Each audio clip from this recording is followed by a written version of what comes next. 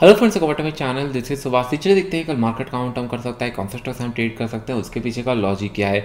आज एक्सपायरी था, आज एक्सपेक्टेड कल हम लोगों ने क्लियरली डिस्कशन किया था। दो पॉइंट में हम लोग बाइंग के लिए प्लान कर सकते हैं। अगर कल मार्केट गैप डाउन खुल जाता है दैट मीन्स 900 950 इसी लेवल के आसपास अगर गैप डाउन खुलता है it go into a very good accumulation zone और यहाँ से हम लोग बाइंग अपॉर्चुनिटी ढूंढना चाहिए। मार्केट रिवर्सल हो सकता है। गैप डाउन खुला तो हम लोग रिवर्सल के लिए प्लान करेंगे। मैंने एक प्रोबाबिलिटी कॉन्सेप्ट आपको बताया था कि नहीं, किस तरीके से मैं ये प्लान कर रहा हूँ। एक गैप डाउन खुल सकता है, उसके बाद रिकवर होगा। क्योंकि फ़र्स्ट थिंग कल, अगर एक बार और एक बार मैं आपको समझाता हूँ, कल बहुत सारे इतने लोग वीडियो नहीं देखे हैं। पहले जाके वो वीडियो देखिए, क्योंकि तभी आपको समझ में आएगा कि नहीं हाँ किस तरीके से आप ट्रेड कर सकते हो। देखिए ट्रेडिंग इज़ नॉट अबाउट आप करेक्ट हो या गलत हो या फिर आप किस तरीके से ट्रेड प्लान करते हो। इट्स ऑल अबाउट कि नहीं, जब आप करेक्ट हो, आप कितना पैसा कमा रहे हो और आप जब रॉन्ग हो, कितना लूज कर रहे हो। क्योंकि हर कोई हर टाइम पे करेक्ट नहीं हो सकता, लेकिन एक प्लानिंग के साथ हम लोग मार्केट के अंदर चलते हैं कि नहीं हाँ आज मार्केट के अंदर ये हो सकता है मार्केट रिवर्स कर सकता है, ऊपर जा सकता है। अगर आपके अकॉर्डिंगली मार्केट जा रहा है तो आप कितना पैसा कमा रहे हो दैट मैटर से लॉट तो कुछ पॉइंट मैं आपको बताने से पहले एक पॉइंट दिखाऊँगा सो दैट विल अंडरस्टूड कि नहीं यहाँ किस तरीके से ट्रेडर प्लान करता है। तो चलिए मैं आपको मेरा ऑर्डर बुक दिखाता हूँ so that will get an fair idea यहाँ पे अगर देखोगे नाइन फिफ्टीन के आसपास मैंने यहाँ पे forty thousand five hundred call ये मेरे पास पहले से शॉर्ट था जो मैंने फाइव हंड्रेड के आसपास कवर किया। दैट मीन्स मेरे पास हमारे अराउंड सेवन फिफ्टी या एट हंड्रेड के लेवल से ये शॉर्ट था।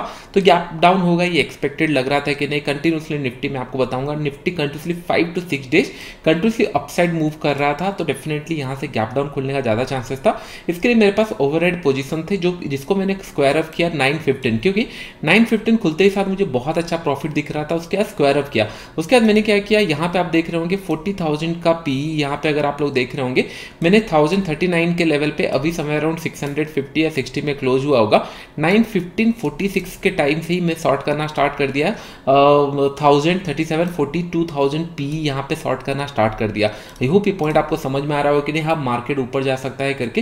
पहले कैंडल से दैट टू कि विद इन सेकेंड्स हम लोगों ने प्लान किया क्योंकि ये हम लोगों का डिस्कशन था पहले से ही कि नहीं हाँ मार्केट अगर गैप डाउन खुलेगा तो हम लोग पॉजिटिव साइड ही देखेंगे।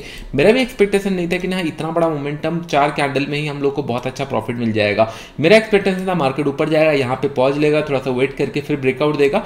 लेकिन यहाँ पे पहले ही कैंडल में ही हम लोग को टारगेट मिल गया। उसके बाद ऊपर की तरफ़ और दो तीन कैंडल मिले। जितने लोग एनालिसिस के हिसाब से ब्रेकआउट के हिसाब से फिफ्टीन मिनट ब्रेकआउट हो गया फाइव मिनट ब्रेकआउट हो गया ब्रेकआउट थ्योरी के हिसाब से फाइव पी के हिसाब से Okay. कोई भी ट्रेड पे आप ट्रेड कर रहे होंगे बाइंग के साइड मैंने आपको एक पॉइंट बताया था, दो क्वांटिटी सेलिंग के लिए एक क्वांटिटी ये जितने लोग फॉलो किए होंगे they will definitely made some money तो मैं इसलिए बोलता हूँ कि नहीं, चीज़ों को समझने का कोशिश करो। मुझे एग्जैक्टली exactly ये नहीं पता कि नहीं फेड में क्या हुआ या फिर और कुछ अगर मार्केट के अंदर न्यूज़ है ओनली थिंग आई अंडरस्टूड कि नहीं प्राइस किस तरीके से मूव करता है एंड प्रोबेबिलिटी किस तरीके से हो सकता है। मैंने आपको एक पॉइंट कल भी आपको बताया था गैप डाउन खुलने के बाद क्यों रिकवर कर सकता है। फ़र्स्ट प्रोबेबिलिटी क्योंकि जब भी मार्केट टॉप में जाता है, एक नेगेटिव कैंडल बनता है, उसके बाद गैप डाउन खुलने के बाद ये नेगेटिव ही चला जाता है। यहाँ पे भी सेम हुआ, यहाँ पे भी सेम हुआ, यहाँ पे भी सेम हुआ। तो ऐसे प्रोबेबिलिटी बार बार नहीं हो सकता है कि नहीं मार्केट एक नेगेटिव टॉप में बनाए और उसके बाद गैप डाउन खुलने के बाद कंटिन्यू चला जाए। एक प्रोबेबिलिटी ऐसा आना चाहिए जहाँ पे रिवर्सल आ जाए। तो इसलिए मैंने बोला कि नहीं, आज वो डे हो सकता है तो पहले ही कैंडल से, पहले ही सेकंड से मैंने ये रिवर्सल ट्राई किया। अभी आपको प्रूफ देखने के बाद आपको और कॉन्फिडेंस आ रहा होगा कि नहीं हाँ ये लॉजिक सही है, लेकिन ये सारे पॉइंट कल हम लोगों ने डिस्कशन कर लिया था। निफ्टी एक बार नहीं, ये ऑलमोस्ट फाइव सिक्स टाइम ऐसे कर चुका है। टॉप में बनाता है, उसके बाद नेक्स्ट कैंडल फॉलो थ्रू करता है नेगेटिव की साइड तो डेफिनेटली मार्केट थोड़ा सा स्ट्रॉन्ग दिख रहा है। दैट मीन्स यहाँ पे इसको प्रूव करना था कि नहीं, एक रिवर्सल के लिए हाँ मार्केट स्ट्रॉन्ग है गैप डाउन खुलेगा तो नेगेटिव साइड नहीं, क्योंकि ऑलरेडी प्रोबेबिलिटी एक सेटअप के ऊपर कंटिन्यूसली जा चुका है तो अभी रिवर्सल जा सकता है। आई होप ये पॉइंट आपको प्राइस रीडिंग हो गया प्रोबेबिलिटी हो गया, किस तरीके से आप प्लान कर सकते हो। तो चलिए अभी हम लोग बैंक निफ्टी देख लेते हैं। देखिए कितना प्रॉफिट हुआ अमाउंट और दिखाना फ़ायदा नहीं है। क्यों मैं आपको बता रहा हूँ? क्योंकि 50 60 वन शेयर ये दिखाने के बाद आप लोग बहुत ज़्यादा टेम्प्ट होते हो और हर जगह ढूंढते रहते हो कि नहीं, कहाँ पे क्लासेस है कोर्सेस है। लेकिन आप तभी ट्रेडर बनोगे जब हर दिन एक आपके माइंड में एक ट्रेड प्लान होगा। इसके लिए मैंने आपको बोला कि नहीं हाँ जब तक एक मुझे हैप्पीनेस फील नहीं होता कि नहीं हाँ मैंने कुछ एक्स्ट्रा ऑर्डिनरी सिनारी या फिर एक्स्ट्रा ऑर्डिनरी प्रॉफिट या फिर एक मतलब क्या बोलते होते हैं खुद का ही रिकॉर्ड कुछ ब्रेक नहीं करता, तब तक मैं ये सारे पोस्ट नहीं करूँगा, क्योंकि इससे ज़्यादा क्या होता है, आप लोग फिर और कॉन्सेंट्रेट यहाँ नहीं करते हो। बस it's it's all about simple कोई अगर बीस लाख कमा रहा है तो सी द क्वांटिटी कि नहीं, वो कितना पैसा कमा मतलब कितना क्वांटिटी यूज़ किया है। अगर कोई एक करोड़ कमाया है तो कितना क्वांटिटी यूज़ किया है। अगर कोई एक करोड़ कमाने के लिए एक लाख क्वांटिटी या दो लाख क्वांटिटी यूज़ किया है it's all about hundred point और फिफ्टी पॉइंट ये तो आप डे इन एंड आउट कमा सकते हो, अगर आप सही से ट्रेड करते हो। लेकिन एक लाख क्वांटिटी दो लाख क्वांटिटी या पचास हज़ार, दस हज़ार क्वांटिटी में मनी मैनेजमेंट कैसा करना है, ये आपको धीरे धीरे सीखने मिलेगा। इसके लिए प्रॉफिट एंड लॉस से टेम्प्ट मत होना कभी भी। बस मेक श्योर कि नहीं, जो लर्निंग मिल रहा है, उसके ऊपर फोकस करो। यहाँ पे अगर देखेंगे मार्केट यहाँ पे गया, अगर ये ब्रेक करता और एक ऊपर जाता तो डेफिनेटली हम लोग को और प्रॉफिट हो सकता था। लेकिन मार्केट साइड चला गया तो फिर मुझे भी प्रॉफिट बुक करना पड़ा। अभी अगर हम लोग देखेंगे लास्ट आवर के अंदर मार्केट में एक रेंज बाउंड मार्केट मिला है यहाँ पे। प्रीवियस ट्रेंड क्या है? ये बाइंग के लिए ट्रेंड है। तो जनरली मैं इसको कंटिन्यूसन में ही ट्रेड करना पसंद करता हूँ, लेकिन let the price confirm first जैसे मार्केट गैप डाउन खुला और इमीडिएटली रिवर्सल आना स्टार्ट हुआ, ये कंफर्म कर रहा है। सिमिलरली मार्केट को फ्लैट खुलना चाहिए, उसके बाद फोर्टी टच करते ही साथ हम लोग ट्रेड कर सकते हैं। आपको कैंडल क्लोजिंग का वेट करने की ज़रूरत नहीं है, क्योंकि यहाँ पे एक रेजिस्टेंस बना चुका है। दो तीन बार यहाँ पे ट्रेड हो चुका है, एक रेजिस्टेंस पॉइंट है। इसके ऊपर निकलते ही साथ हम लोग ट्रेड प्लान कर सकते हैं, सौ रुपये एस होना चाहिए वन एस टू टू हम लोग का टारगेट रहेगा। अगर मार्केट कल forty one thousand two hundred closing देता है। यहाँ पे टच करने से हम लोग ट्रेड नहीं करेंगे। इसके नीचे क्लोजिंग देना ज़रूरी है। अगर इसके नीचे क्लोजिंग देना स्टार्ट करता है, तभी हम लोग इसको एक ट्रेड प्लान कर सकते हैं। दैट टू कम क्वांटिटी में और हम लोग का stop loss sixty seventy rupees होना चाहिए। वन इशू टू हम लोग का फोर्टी वन थाउज़ेंड के आसपास हम लोग का टारगेट होना चाहिए। लेकिन forty one thousand two hundred के नीचे कैंडल क्लोज होने दीजिए। इधर फाइव मिनट या फिर फिफ्टीन मिनट का कैंडल क्लोज होने दीजिए, तभी कंफर्मेशन होगा। अगर ये फ्लैट खुलने के बाद forty one thousand four hundred cross करता है तो यहाँ पे हम लोग इमीडिएटली प्लान कर सकते हैं। सौ पॉइंट का मोमेंटम इजिली हो सकता है। फोर्टी वन 1500 के बाद फिर ट्रेंड डिसाइड होगा कहाँ पे जा सकता है। एक अच्छा खासा अपसाइड मोमेंटम अभी पेंडिंग है क्योंकि मार्केट हायर लेवल पे वेट कर रहा है। आई होप ये पॉइंट आपको समझ में आ रहा होगा। चलिए भी हम लोग निफ्टी देख लेते हैं। निफ्टी भी सिमिलर स्टोरी गैप डाउन खुलने के बाद बहुत ही अच्छा रिकवरी हुआ। मैं एटीन के आसपास, मैं आपको यही पॉइंट बता रहा था, एटीन के आसपास एक बाइंग एरिया है। अगर यहाँ पे आता है तो यहाँ पे एक्मुलेशन कर सकते हैं। मार्केट ऊपर गया, फिर एक सार सेलिंग देखने के लिए मिला यहाँ पे कंटिन्यूसली टॉप पे। तो दोनों ही केस के अंदर जितने लोग ट्रेड करते हैं बाइंग के साइड भी आप प्रॉफिट कमा सकते थे सेलिंग के साइड भी कमा सकते हैं जिस तरीके से कल में। सेलिंग के साइड कॉल के साइड कमाया गैप डाउन खुला, फिर मैंने पुट शॉर्ट करके कमाया। फिर इंट्राडे में इतने लोग शॉर्ट किए होंगे, तभी भी मिला होगा। बैंक निफ्टी में इतना बड़ा रिवर्सल नहीं था, लेकिन निफ्टी के अंदर था। डिपेंड कौन सा इंस्ट्रूमेंट आप कितना टाइम ट्रेड करते हो, उस हिसाब से आपको प्रॉफिट एंड लॉस मिल सकता है।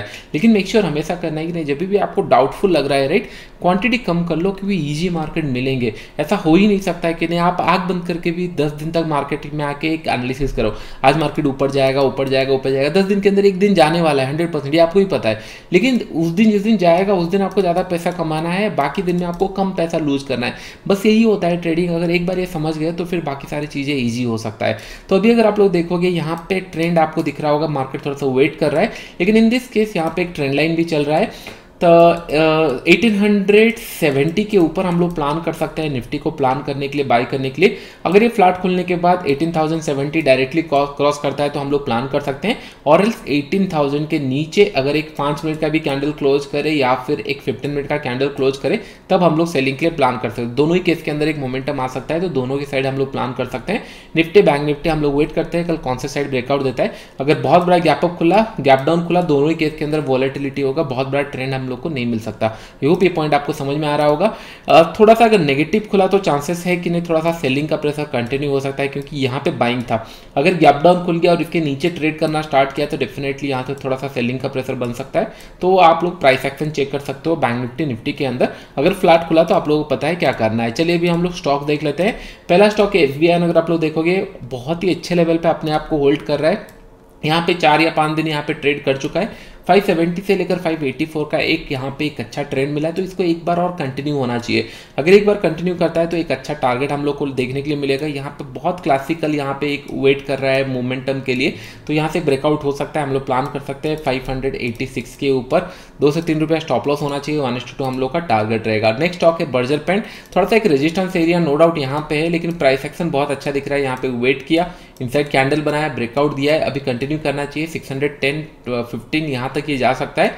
606 के ऊपर या 607 के ऊपर हम लोग इसको प्लान कर सकते हैं। तीन से चार रुपया स्टॉप लॉस होना चाहिए। वन टू हम लोग का टारगेट रहेगा। टेकेम अगर हम लोग देखेंगे एक अच्छा खासा मोमेंटम के बाद ब्रेकआउट के बाद मोमेंटम दी, भी दिया लेकिन यहाँ से एक नेगेटिव फिर पैटर्न बन रहा है। हो सकता है ये रेंज के अंदर थाउज़ेंड फोर्टी के अंदर ये फिर से आ जाए। तो हम लोग इसको प्लान कर सकते हैं थाउज़ेंड फिफ्टी के नीचे हम लोग सेल कर सकते हैं। सिक्स टू सेवन रुपीज़ का स्टॉप लॉस होना चाहिए। वन एस टू हम लोग का टारगेट रहेगा। इसी रेंज के अंदर अगर आ जाता है फिर उसके बाद ट्रेंड डिसाइड होगा और उसके बाद बहुत टाइम लगेगा इसको एक मोमेंटम देने के लिए तब तक हम लोग वेट करेंगे। आई होप ये सारे पॉइंट आप लोग को समझ में आ रहे होंगे। वीडियो चला लाइक एंड फ्रेंड अभी के लिए इतना ही। Thank you